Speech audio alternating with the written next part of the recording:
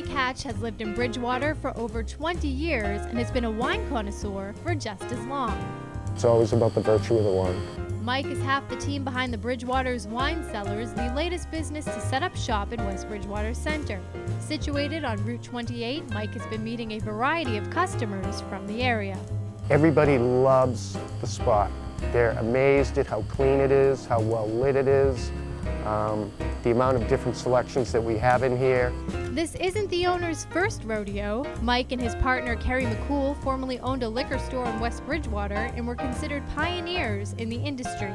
We sold it approximately eight years ago, and what we found out, particularly over the past two or three years, was that nobody had taken our pioneering effort to the next level.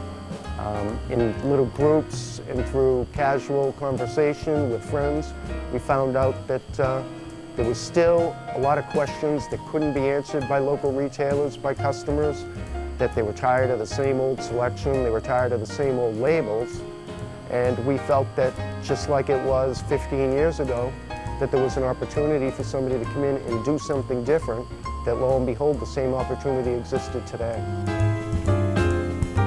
So what makes the Bridgewater's wine cellars unique? Try 4,400 square feet, a diverse collection, and weekly tastings. Oh, and the extensive knowledge of its staff doesn't hurt. We're experienced, we can talk about the products. Last year, as an example, I personally tried over 2,500 wines. And this year, our, my personal goal is to at least reach 3,000. And that's really the point of difference between the wines we offer and the wines that other people offer. Uh, we, we go beyond the label, we go beyond the cost, we go beyond the gross profit, and we taste the wine. Inevitably, what we're trying to do is be an advocate for the consumer. From traditional Merlots and organic wine to obscure microbrews and gluten-free beer, the Bridgewater's wine cellars have a plethora of options for every taste.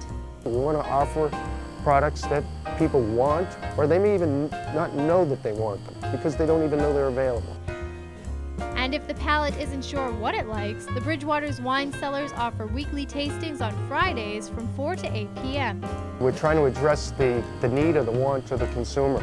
Much like when you go to a restaurant, you see 30 things on the menu and you'd like to get a certain seafood item but you're not familiar with it, you may not want to pay $25 to, to try that item. Where by sampling six different wines, eight different wines every Friday, our customers, if they come by even every other Friday over the course of the year, will, will have had the opportunity to try over 150 wines at no cost.